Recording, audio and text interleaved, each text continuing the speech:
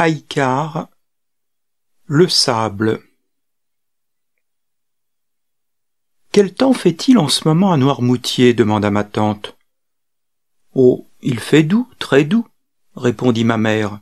Là-bas, il ne gèle jamais. C'est une île avec son microclimat. C'est pourquoi nous avons planté deux myosotis, un sur le devant de la maison, l'autre derrière, non loin de la terrasse. Oh, vous en avez de la chance. Moi j'avais essayé une fois, mais ici il n'a pas survécu au premier hiver, le gel l'a tué. Mais le sable, dis-moi, Thérèse, il paraît que c'est vraiment effrayant le problème du sable là-bas. Oui, c'est vrai. Tout fout le camp. Le sable s'en va et tout part avec lui. Même les fondations de la maison sont menacées. Oh, ce n'est pas vrai. Grand Dieu, Thérèse, dis-moi que ce n'est pas possible. Mais si, mais si, ajouta ma mère. Un jour la maison va s'effondrer ou basculer comme les blocos qu'il y a sur la plage. Tu entends ça? dit ma tante à son mari. Thérèse dit que la maison de Noirmoutier menace de s'effondrer. Mon oncle se retourna. Il discutait d'architecture avec un autre de mes oncles. Excuse-moi, je n'ai pas entendu, dit-il. Je te disais que la maison de ton frère risque de s'effondrer. Ah bon? répondit-il fort étonné. Pourtant nous y sommes allés il y a quinze jours, et je n'ai rien remarqué. Mais je ne te parle pas de la maison d'Orléans, mais de celle de Noirmoutier, répliqua ma tante un peu énervée de n'être jamais entendue. Ah, d'accord, je comprends mieux. Mais si tu veux, Bichette, dit mon oncle en mettant son index devant sa bouche, nous pourrions en parler tout à l'heure. Nous discutons en ce moment d'un investissement que Bertrand voudrait faire et sans même attendre de réponse, mon oncle se retourna. Ah, qu'est-ce qu'il m'énerve quand il m'appelle Bichette, dit ma tante, en regardant ma mère. On n'a plus vingt ans que je sache. Une autre de mes tantes, un petit peu ronde, s'approcha. Quoi? Dis-moi que ce n'est pas vrai. La maison ne menace quand même pas de s'effondrer. Rassure-moi. Dis-moi que tu exagères. Ma mère sentant qu'elle avait peut-être un peu exagéré, ou que la discussion prenait une tournure dramatique, voulut temporiser. En tout cas, si on ne fait rien, si on n'agit pas tout de suite, ça pourrait bien nous arriver. Qu'est-ce qui pourrait bien vous arriver? reprit Christie, ma tante aux formes épanouies, qui voulait être sûre de savoir de quoi on parlait. Bah, que la maison s'effondre, dit ma mère, L'année dernière, on a passé tout l'été à niveler le sable que Paul-Henri a fait venir. Tout l'été, on n'a fait que ça, rien d'autre. Et après, on a planté des arbres, une forêt d'arbres pour retenir le sable. Ah bon? C'est vraiment à ce point? dit ma tante. Je ne croyais pas que c'était aussi grave que cela. Je ne sais pas pourquoi, mais quand je dis quelque chose, on ne me croit jamais, ajouta ma mère. On croit toujours que je dis n'importe quoi ou que j'exagère. Mes deux tantes se regardèrent. Mais comment vous avez fait pour le sable? demanda une de mes tantes. On l'a fait venir par camion du continent. Et pas qu'un seul. Je ne me rappelle plus combien au juste. Mais plusieurs. Un grand nombre. Il faudrait demander à Paul Henry. Il le saura. Il le saura forcément puisqu'il note toujours tout. Il note tout dans des cahiers, il en a plein un tiroir, il a des cahiers pour tout. Il faut toujours qu'il note tout. Le moindre centime qu'on dépense ou que je dépense est noté dans un cahier. Mais le sable, la coupa ma tante, vous ne craignez pas qu'il disparaisse à nouveau? Si, bien sûr. C'est pour cela que Paul-Henri a construit une palissade au fond du jardin, une palissade pour retenir le sable. Elle fait quelle hauteur, cette palissade? demanda Christie, inquiète et curieuse. Deux mètres cinquante ou trois mètres, je ne sais plus, répondit ma mère. Paul-Henri doit savoir la hauteur exacte. C'est lui qui l'a faite. Ah bon, c'est lui qui l'a faite?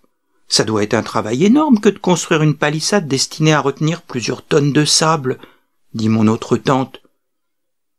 Oui, un travail énorme. Mais Paul-Henri s'ennuie pendant les vacances, et il ne supporte pas de rester à ne rien faire, alors il faut bien qu'il s'occupe. Mes deux tantes sourirent.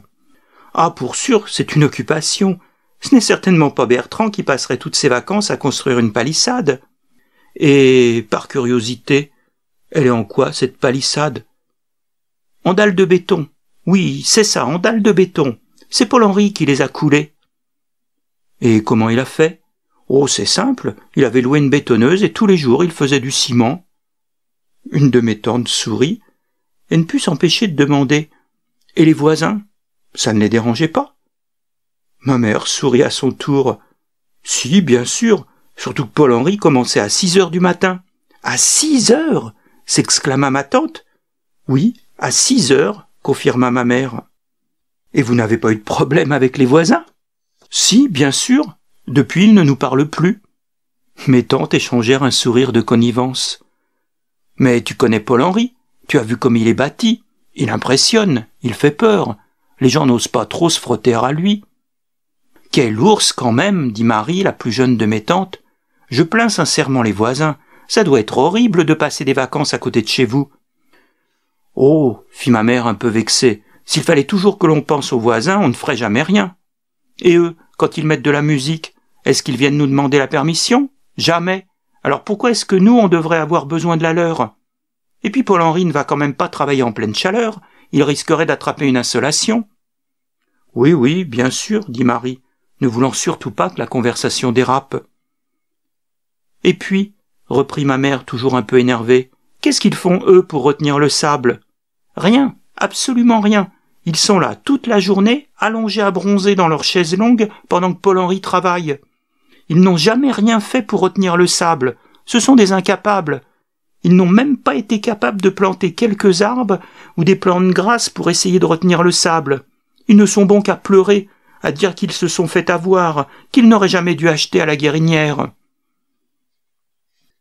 Une autre de mes tantes, Paula, qui avait suivi toute la conversation mais sans y prendre part, crut opportun de dire Au moins vous avez toujours le club Mickey, c'est vraiment très bien pour les enfants, on peut les laisser au club une journée et en profiter pour faire autre chose.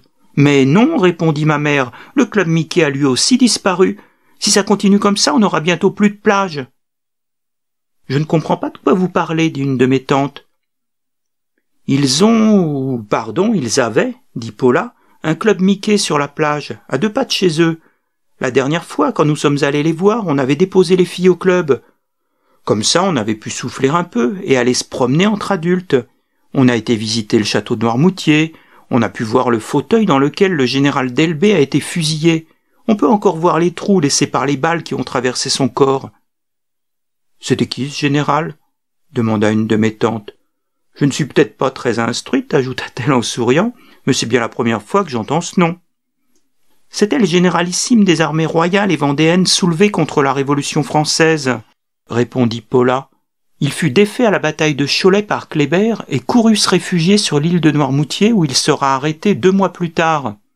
Eh bien, on en apprend des choses avec toi, dit Marie en tapant amicalement de la main sur le genou de Paula. Mais pourquoi ne pas emmener les filles? C'est l'histoire de France. Oh, elles sont quand même en vacances. Toute l'année on surveille étroitement leurs devoirs. On les corrige, on les aide. Alors on a décidé qu'elles avaient bien le droit de souffler un peu pendant les vacances. Elles préfèrent quand même être à la plage ou à jouer avec des camarades de leur âge que de visiter des musées. On ne veut quand même pas avoir l'air de les tyranniser, ajouta Paula en souriant. Je m'excuse, dit alors Christy, mais je ne suis pas sûr d'avoir bien compris pourquoi le club Mickey avait disparu. Le sable, répondit alors ma mère. Le sable, il n'y a plus de plage. Dès que la mer monte, la plage disparaît maintenant presque entièrement. Bientôt, si ça continue comme ça, il n'y aura plus du tout de plage. Les gens seront obligés de rester chez eux, dans leur jardin. Mais comment est-ce possible? Où est-ce qu'il est parti, ce sable? Oh, j'en sais rien, dit ma mère en levant les bras. Comment est-ce que je pourrais savoir où est passé le sable? Vous êtes sur une île. Peut-être est-ce là la cause suggéra une de mes tantes. Je ne sais pas, j'en sais rien. Après, il y en a qui commencent à dire que le dragage pourrait être l'une des causes. Je vais encore avoir l'air d'être ignorante, dit Marie. Mais c'est quoi le dragage? Il faudrait demander à Paul-Henri, il t'expliquerait tout cela mieux que moi. Marie leva la tête et regarda en direction des frères. Tu les as vus, ils sont encore en grande discussion. Il vaut mieux ne pas les déranger. Allez, Thérèse, explique-moi ce que tu en sais. Eh bien, il y a des bateaux au large qui pompent le sable, et à force de pomper. Bah alors, c'est comme les Shadocks, dit Christie en éclatant de rire. Elle tenta toutefois de se contenir en mettant sa main sur sa bouche, mais c'était plus fort qu'elle, elle n'arrivait pas à s'empêcher de rire. Bientôt elle fut prise d'un fou rire contagieux qui ne tarda pas à gagner toutes mes tantes. Qu'est-ce qu'il y a de si drôle? demanda alors un de mes oncles en se retournant. On aimerait bien rire nous aussi. Rien, rien, c'est la foire aux andouilles, on a quand même le droit de s'amuser entre femmes, répondit Christie. Puis se tournant vers ma mère. Excuse-moi, Thérèse, je ne sais pas ce qui m'a pris, je te promets, je ne recommencerai pas. Allez, continue. Reprends tes explications, s'il te plaît. C'était très bien ce que tu disais. C'est moi qui suis folle. Je dois avoir un petit grain là-dedans, ajouta encore Christie en souriant et en pointant son index contre sa tempe. Je vous expliquais, reprit ma mère, que d'immenses paquebots avec des bras de succion énormes sillonnent les côtes et aspirent des quantités incroyables de sable, et que bientôt il n'y aura plus de sable. Plus de sable s'exclama Marie. Je ne veux pas être méchante avec toi, Thérèse, mais là, je pense que tu as dû louper une partie des explications, ajouta-t-elle en éclatant à son tour de rire. Mais non, dit ma mère, c'est vrai, si vous ne me croyez pas, vous avez qu'à demander à Paul-Henri. On ne peut pas les déranger. Ils sont en pleine discussion, tous ces hommes, dit Paula en soufflant. Ils discutent de choses importantes. Ils ne vont pas être contents si on les dérange. Paul-Henri cria ma mère. Mon père se retourna. Elles me prennent pour une folle parce que je leur dis que bientôt il n'y aura plus de sable. Mon père sourit. Oui, c'est vrai. Même si dit comme cela, ça paraît incroyable. Alors vous voyez bien que j'avais raison, dit ma mère. Plus de sable, s'exclama Christie. Mais c'est impossible avec tous les déserts qu'il y a sur la planète. Mais ce sable est impropre à la construction, dit mon père. Les grains de sable des déserts sont ronds. Ils ont été sans cesse balayés par les vents et les grains ne s'agrègent pas ensemble. Ce que l'on bâtit avec le sable du désert ne tient pas et s'effondre très vite. Il faut du sable de rivière ou de mer, les grains présentent des aspérités et s'agrègent très bien. Paul-Henri, t'es avec nous ou avec les femmes? dit mes oncles en souriant mais d'une voix ferme. Excusez-moi, mais le devoir m'appelle, dit mon père en se retournant. Alors, vous voyez bien que j'avais raison, dit ma mère. Du calme, Thérèse, tu ne vas pas t'en tirer à si bon compte, dit Marie. Tu nous avais dit qu'il n'y avait plus de sable, mais sans nous dire que tu parlais du sable réservé à la construction. Et alors, qu'est-ce que ça change? dit ma mère un peu énervée, ne sachant plus que dire. Bah si, ça change tout. Tu as entendu ce que vient de dire ton mari adoré, dit Marie. Mon mari, oui, dit ma mère, mais adoré, certainement pas. Il y a longtemps qu'on ne s'entend plus. Marie, ne voulant surtout pas que la discussion parte dans cette nouvelle direction, reprit. Revenons à nos moutons, Thérèse si je comprends bien, d'immenses paquebots au large des côtes aspirent des quantités incroyables de sable destinées au secteur du bâtiment et cela menace les plages de disparition. C'est cela, c'est bien cela, la coupa ma mère. On ne s'en rend pas compte, mais le sable prélevé dans les fonds marins crée des immenses trous qui seront petit à petit comblés sous l'effet des vagues et des courants. Et c'est le sable de nos plages qui s'en va pour les combler. Si c'est vrai, c'est effrayant, la Christie. Bien sûr que c'est vrai, dit ma mère. D'ailleurs, en Floride, toutes les plages disparaissent. Et l'année dernière, on a été au Maroc en vacances. Eh bien, il n'y avait plus de plage devant l'hôtel. Que de la roche friable et des trous. C'est tout ce qu'il restait. Alors que tous les habitants nous ont dit qu'il y a dix ans, il y avait là une plage magnifique. Ah, je crois que j'en ai entendu parler, dit Paula. Une amie m'avait raconté l'histoire. Visiblement, ils ont prélevé au large des quantités incroyables de sable pour ériger des complexes touristiques au pied des plages. Et, ironie du sort, dix ans après, il n'y a plus de plage.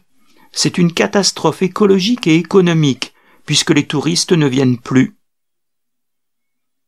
Marie, assise confortablement sur sa chaise, croisa les doigts de ses mains, puis leva les bras au-dessus de sa tête, s'étira et bâilla longuement. Oh. Excusez-moi, mais j'ai un petit coup de barre avec tout ce qu'on a mangé à midi. C'est incroyable comme on mange chez les gourions. On ne fait que ça. Dans ma famille, on ne mange pas autant. On peut se réunir en famille sans systématiquement faire un grand repas.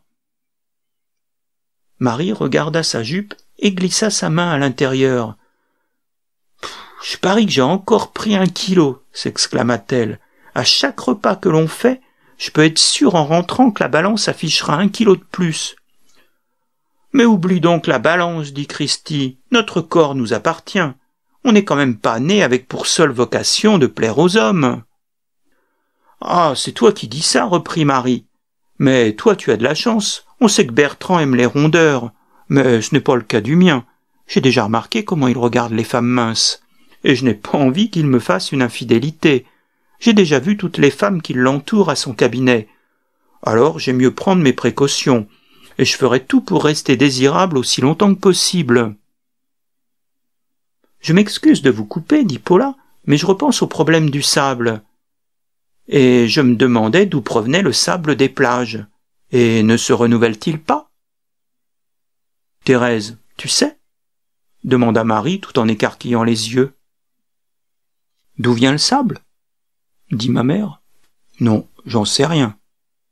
Vous me faites marcher. C'est comme l'histoire de la poulée de l'œuf. Le sable, c'est le sable. Il a toujours été là, depuis que Dieu a créé la terre et le ciel. Non, non, Thérèse, je parle sérieusement, reprit Paula.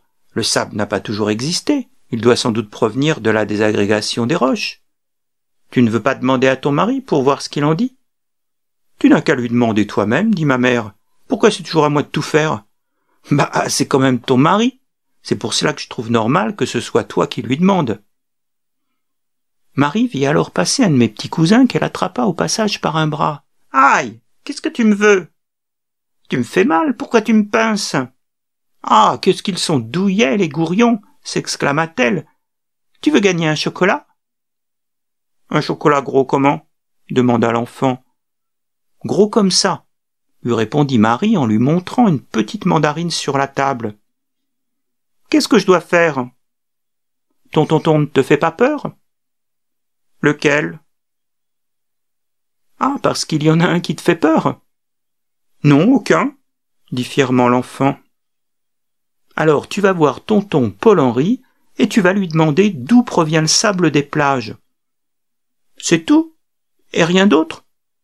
interrogea l'enfant étonné. C'est tout, allez, vas-y, on te regarde. L'enfant marcha jusqu'au fauteuil de tonton Paul-Henri et tira sur sa manche. Paul-Henri se retourna.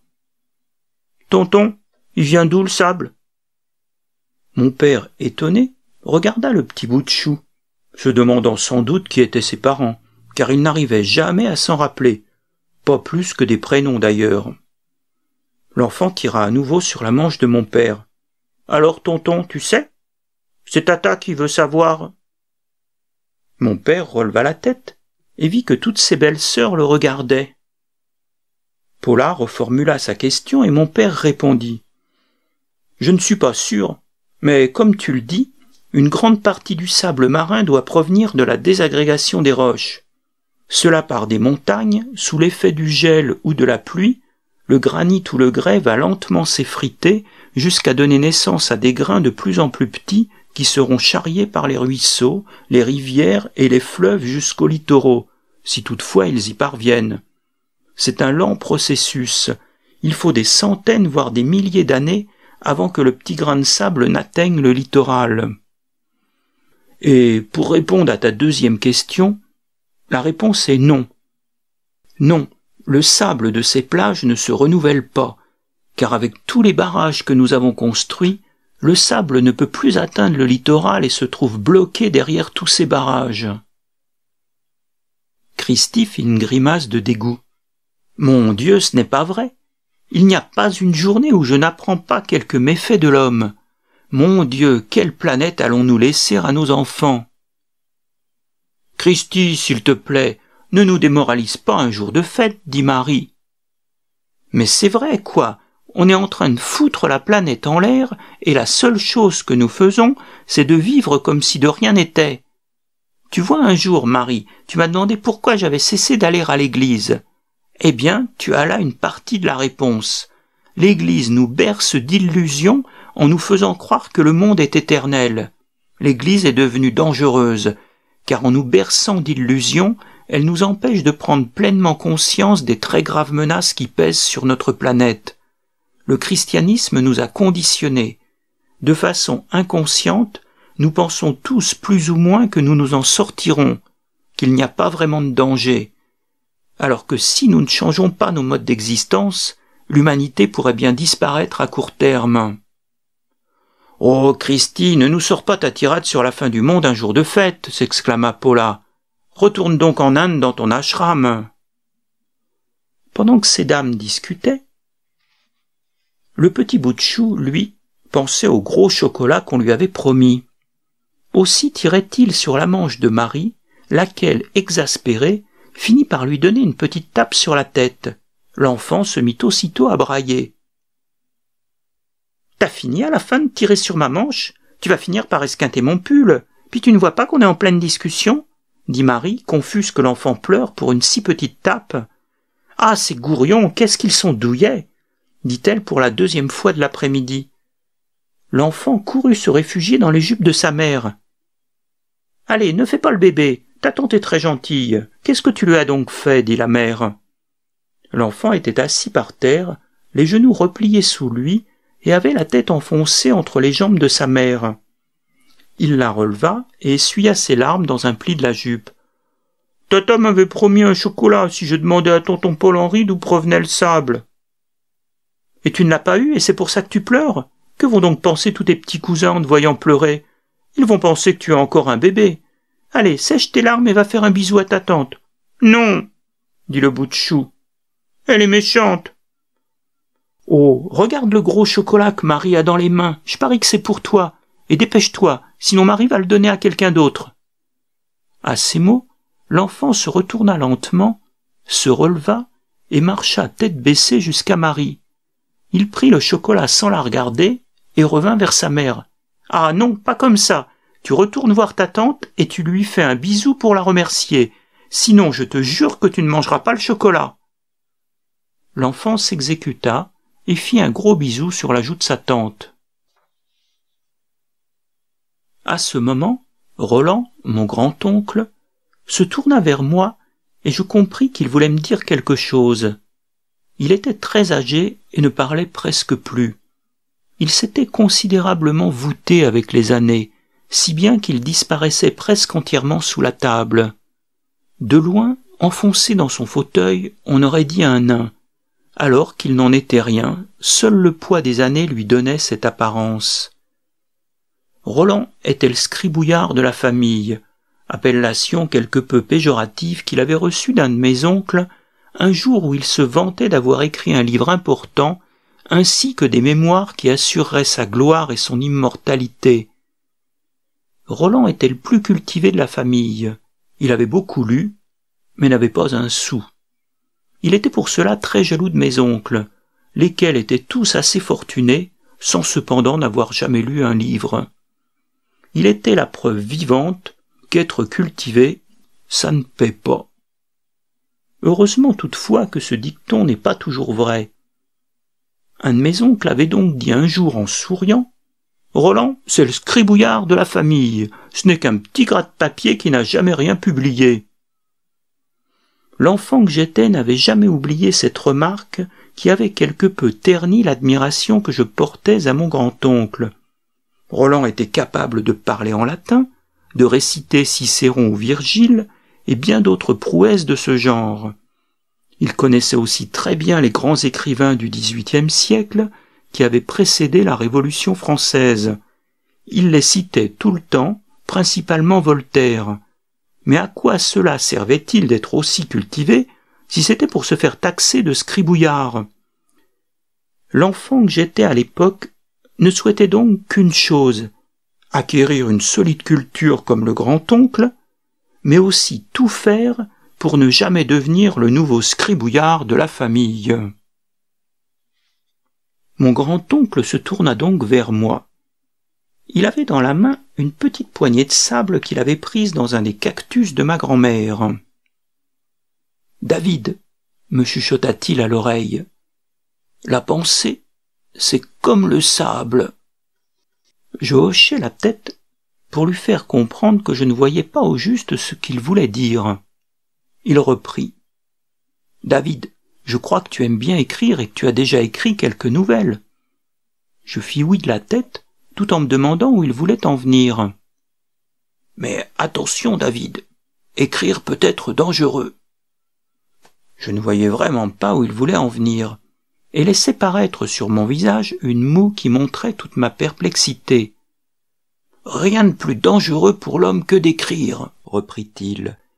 Car si d'un côté l'on devient plus grand, plus humain, plus vrai, de l'autre on prend de plus en plus conscience de son impuissance, de la relativité de tout ce qui peut émerger d'une pensée sans fondement absolu.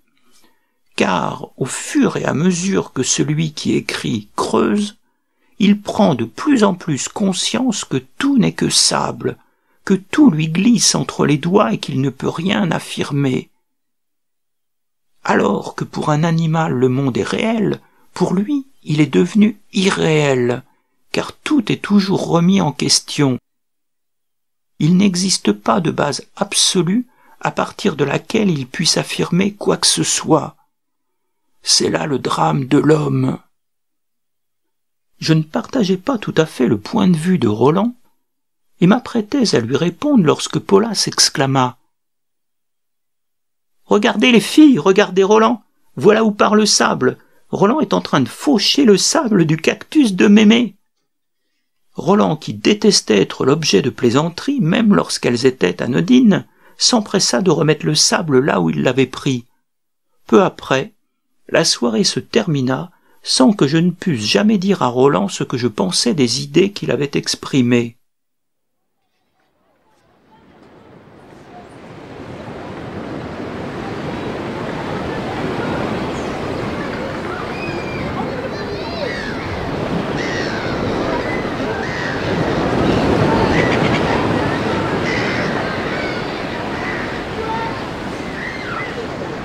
Pendant plusieurs années, la palissade que mon père avait érigée pour retenir le sable tint bon. Il faut dire que mon père ne faisait jamais dans la demi-mesure. Les dalles en béton qu'il avait coulées étaient impressionnantes. Mais seraient-elles de taille à lutter contre les assauts de l'océan qui année après année emportaient irrémédiablement plage et dunes? Il faut dire que les promoteurs, attirés par l'appât du gain, construisent toujours le plus près possible des plages, ignorant complètement que celles-ci sont des organismes vivants qui suivent un cycle naturel, reculant et s'aplanissant en hiver pour mieux absorber l'énergie des vagues. Or, si nous construisons au pied des plages, celles-ci ne peuvent plus reculer en hiver et deviennent la proie des vagues qui les emportent au large. Un soir, donc, vers vingt-deux heures, le téléphone sonna. Qui cela peut-il être? grommela mon père. A-t-on idée de déranger les gens à une heure pareille? Mon père saisit le combiné et dit Allô? d'un ton ferme et sans se présenter comme il le faisait habituellement. C'était le gardien du village où mes parents avaient leur résidence secondaire. Je pris le petit écouteur, curieux d'entendre ce qui justifiait un appel si tardif. Je voulais vous informer, monsieur Gourion, qu'il y a eu une grosse tempête sur l'île la nuit dernière, et que plusieurs toitures ont été arrachées. Mais rassurez-vous, pas la vôtre. Mon père ne disait rien, mais j'avais l'impression de ressentir toute la tension qui l'habitait.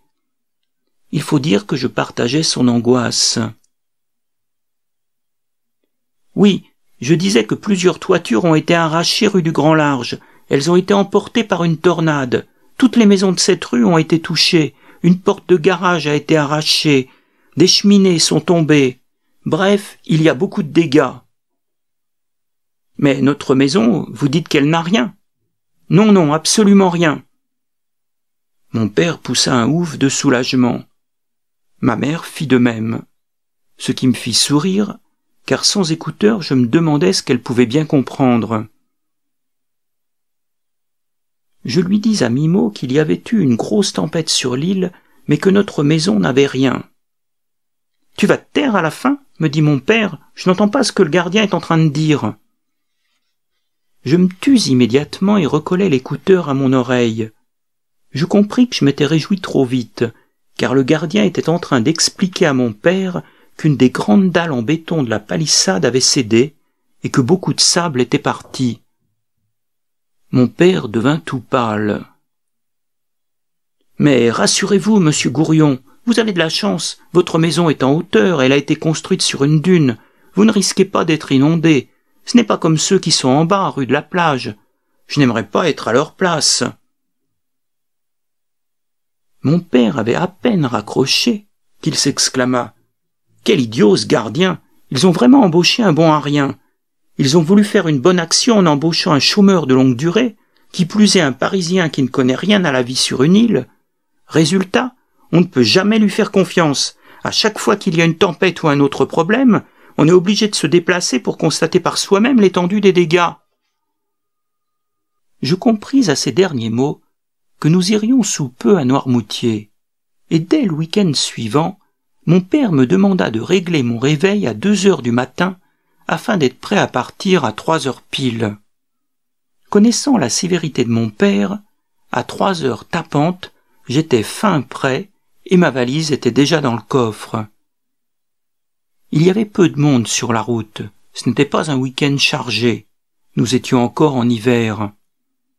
Mon père roula très vite, comme à son habitude, et nous mîmes à peine plus de quatre heures pour arriver sur l'île.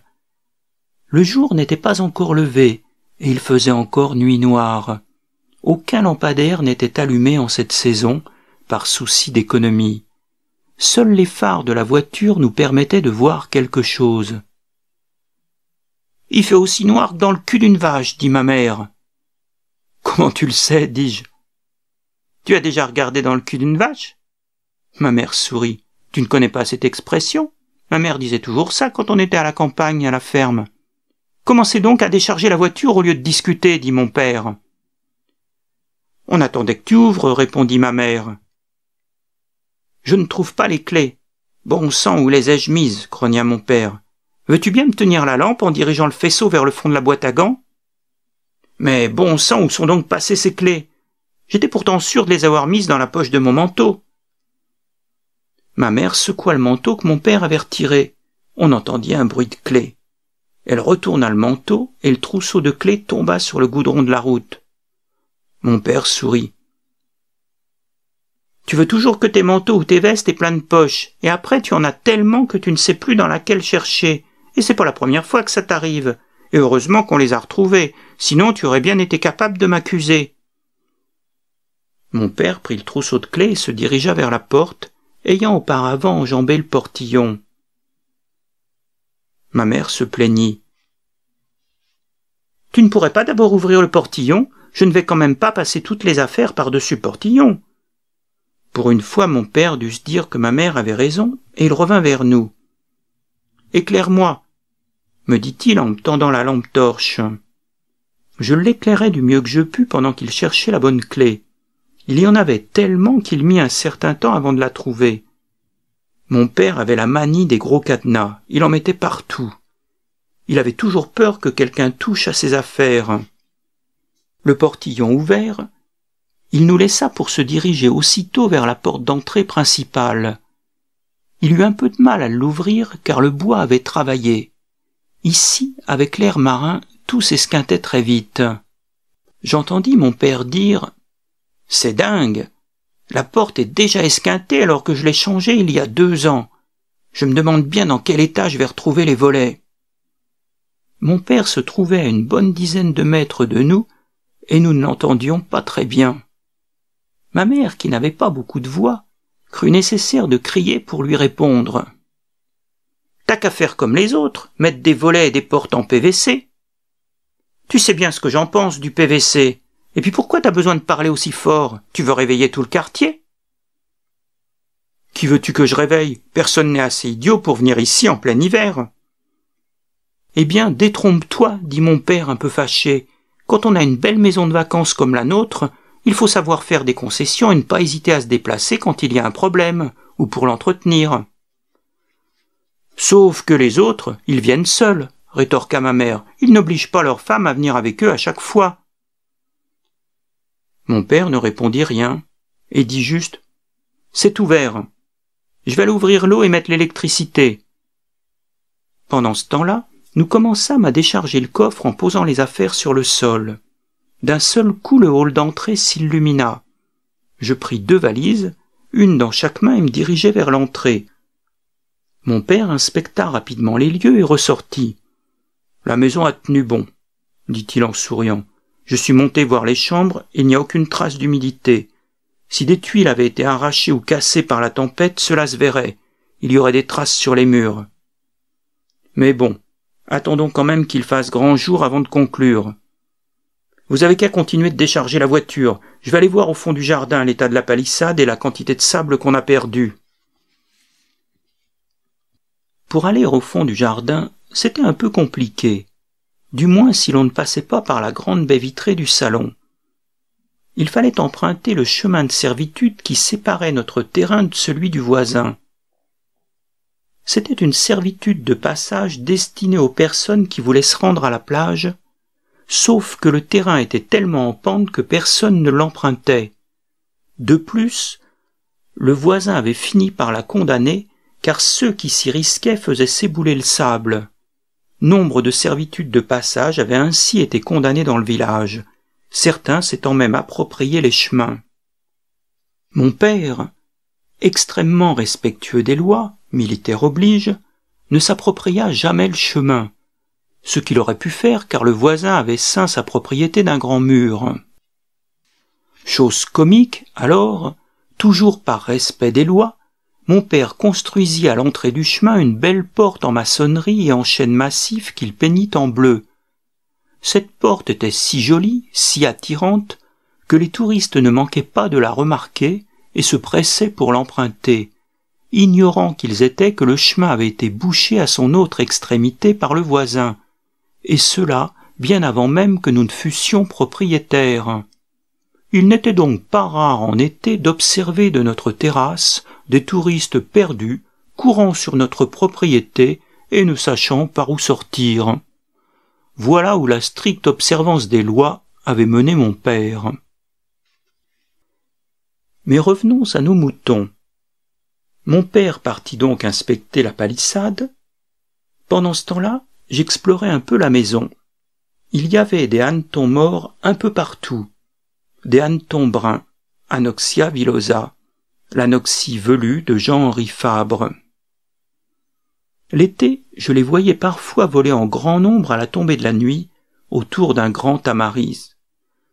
Je supposais, bien que je ne fusse jamais là à cette période, qu'à la fin de l'été, quand les températures chutaient, les hannetons se réfugiaient dans les maisons en empruntant les conduites cheminées. Bientôt, j'aperçus sur le sol, dans un coin, derrière le buffet, un magnifique hanneton marbré blanc et noir. À la taille de ses feuillets antennaires, je sus que c'était un mâle. Je courus le montrer à ma mère. Regarde, maman, le magnifique hanneton que j'ai trouvé. Si tu crois que j'ai que ça à faire, s'exclama-t-elle sans même le regarder, mais regarde, maman, comme il est beau. Je suis sûre que tu n'en as encore jamais vu un comme ça. Tu te rends compte, il est presque aussi gros que mon pouce. Ma mère daigna tourner la tête. Mais c'est pas un hanneton, qu'est-ce que tu racontes? Mais si, maman, c'est un hanneton marbré, Polyphila foulot, c'est même un mâle. Et puis quoi encore? Il t'a montré sa quéquette? Dit ma mère en riant, persuadée que je la faisais marcher. Mais non, maman, ce n'est pas une blague, je te jure, Regarde, il a sept grands feuillets antennaires alors que la femelle n'en a que six. Et ils sont beaucoup plus petits. En tout cas, dit ma mère, tu ferais mieux de commencer à ranger tes affaires, parce que si ton père te voit avec ces bestioles dans les mains, ça risque encore de mal finir. D'accord, dis-je en soupirant. Je monte ranger ma valise. T'aurais pu aller avec lui voir l'état du mur, ajouta-t-elle alors que j'avais déjà gravi plusieurs marches des escaliers. Non, ça ne me disait rien. Il me fait vraiment trop peur. On ne sait jamais comment il va réagir. De retour dans ma chambre, je commençai à vider ma valise et à mettre mes affaires dans mon armoire. Je décidai d'ouvrir fenêtres et volets pour aérer un peu. pour chasser un remugle de moisi. Je rabattis le lourd volet en bois contre le mur et le fixai à l'aide d'un crochet. Ma mère avait raison, il faisait aussi noir que dans le cul d'une vache, on ne voyait pas à un mètre. Tout à l'heure, dès que le jour commencera à poindre, on apercevra au loin les moulins de la guérinière. J'ai toujours aimé les regarder, voir le soleil lentement se coucher derrière les moulins. Toutefois, je notais que mes yeux commençaient à s'habituer à l'obscurité et que des ombres commençaient à se détacher. Je ne saurais dire pourquoi, mais un sentiment d'inquiétante étrangeté m'envahit. Il me semblait apercevoir au pied du mur de la maison un grand trou d'ombre noire. Je me baissai davantage et attendis encore un peu que mes yeux s'habituent à l'obscurité. D'un seul coup, je fus saisi d'effroi en comprenant ce dont il s'agissait. Une partie de la dune s'était effondrée avec la chute de la palissade. Il y avait un grand trou au pied de la maison qui allait visiblement jusque sous la maison. Comme notre maison était en hauteur, je me demandais si les prédictions de ma mère n'étaient pas en train de se réaliser. Pareil au blocos qui était sur la plage, notre maison allait basculer. C'est incroyable, me dis-je, que la chute d'une dalle de la palissade tout au fond du jardin ait pu engendrer de tels dégâts, une telle perte de sable. Mon père avait pourtant planté une forêt d'arbres pour retenir le sable, mais visiblement cela n'avait pas suffi. Je crus alors percevoir la voix de mon père qui semblait dire Mon Dieu, mon Dieu, dans quel état est le jardin? Il était loin, je ne le voyais pas. Il avait dû se rendre directement au fond du jardin par le chemin de servitude avant de remonter lentement vers la maison. J'eus soudain peur que mon père me voie et rentrait à l'intérieur de la pièce, puis courut voir ma mère en dévalant quatre à quatre les escaliers. Qu'est-ce qui t'arrive? demanda-t-elle en remarquant mon air ahuri. Ouvre la baie vitrée, tu vas voir. Qu'est-ce qui se passe Tu me fais peur. Sans attendre que ma mère réagisse, j'ouvris la grande baie vitrée qui donnait sur le derrière de la maison. Immédiatement, ma mère poussa un cri d'horreur. Mon Dieu, la maison va s'écrouler. Il y a un grand trou sous la maison. Il faut qu'on sorte tout de suite. Où est ton père? J'espère qu'il ne lui est rien arrivé. ajouta-t-elle affolée. Je suis là. C'était la grosse voix de mon père. On ne le voyait toujours pas, et j'avais beau chercher parmi les ombres, je ne reconnaissais pas sa silhouette. Bientôt il parut. Qu'est-ce qu'on fait? dit ma mère. On va à l'hôtel? Pourquoi tu veux aller à l'hôtel? demanda calmement mon père. Mais tu ne vois pas que la maison va s'écrouler s'exclama ma mère. Moi je ne reste pas une minute de plus ici. Mon père essaya de la calmer. Mais non, la maison ne va pas s'écrouler. Tu dis n'importe quoi, tu as regardé le trou qu'il y a sous la maison Moi je te dis que je ne reste pas une minute de plus dans cette baraque. J'ai vu ce que c'était que d'être enseveli sous les décombres. J'ai vu les voisins être ensevelis sous les décombres pendant les bombardements de Saint-Nazaire. Je n'ai pas survécu au bombardement de Saint-Nazaire pour finir enterré sous cette baraque. Je sentais que ma mère perdait complètement les pédales. Je dois dire que je n'en menais pas large non plus. Seul avec ma mère, il était clair que j'aurais sans doute paniqué comme elle et que nous aurions couru prendre une chambre dans un hôtel. Mais même si je n'aimais pas mon père, force m'était de reconnaître qu'il était plus qu'habile de ses deux mains. Je savais qu'il était capable de construire entièrement une maison de A à Z, il nous l'avait déjà prouvé, comme je savais qu'il était également capable de démonter entièrement un moteur de voiture, de le réparer et de remonter le tout. Il était encore capable de bien d'autres prouesses manuelles. Il était pour cela naturel que je lui accorde ma confiance. Qu'est-ce que tu penses qu'il va se passer? demandai-je alors. Tu es vraiment sûr que nous ne risquons rien à dormir ici? Mais non, c'est plus impressionnant que dangereux. Demain, je vais couler une nouvelle dalle de béton, puis je ferai venir deux ou trois camions de terre. Tant pis si la terre est chère, mais je commanderai ce qu'il y a de mieux. Deux ou trois camions de terre permettront aux arbres de mieux s'enraciner et vous verrez qu'il n'y aura pas de prochaine fois. Tu es bien sûr de toi, dit ma mère, quelque peu rassurée. Mais qu'est-ce qui te dit que tu ne te trompes pas? Tu ne possèdes pas la science infuse. Je ne t'ai jamais dit que je possédais la science infuse. Mais ce dont je suis sûr, c'est que la maison ne va pas s'écrouler. Tu as vu la largeur qu'elle fait.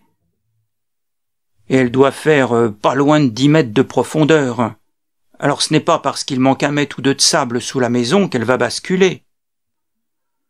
Bon, si tu le dis, finit par dire ma mère.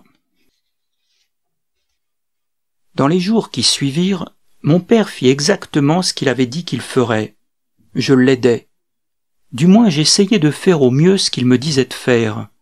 Je fus étonné car pas une fois il ne m'engueula. Au contraire, après que j'eusse réussi à extraire du sol la souche d'un pain que la tempête et l'effondrement de la dune avaient brisé, il me dit C'est bien, lui si avare de compliments. Peu après, je m'autorisai une pause et m'assis sur un rondin qui servait de tabouret. Je regardais au loin les moulins. J'en apercevais trois. En relevant la tête dans la direction de ma chambre à coucher, je repensais à l'autre soir. Non, à l'autre matin, quand nous sommes arrivés. Je me rappelais avoir d'un seul coup reculé dans ma chambre, de peur d'être aperçu par mon père. Je me rappelais qu'à cet instant, j'avais eu très peur qu'il me voie, car je craignais que l'étendue des dégâts ne l'ait mis hors de lui, ne le fasse sortir de ses gonds, et qu'il se mette dans une grande colère, et pour finir que cette colère nous retombe dessus, à ma mère et à moi. Eh bien, pour une fois, je m'étais trompé. Oui, trompé. Ah, comme j'étais heureux de m'être trompé. Mieux encore, je l'avais aidé, et il m'avait même félicité. C'est drôle, pensai-je, mais cette disparition du sable, cet effondrement de la dune, la grande dalle de béton qui avait cédé, bref, je me surprenais à penser que tous les éléments de cette tragédie allaient plutôt me laisser un bon souvenir. Étrange ironie du sort. Je relevais la tête et regardais au loin les moulins. Le ciel commençait à rougeoyer. Bientôt le soleil allait se coucher derrière les moulins.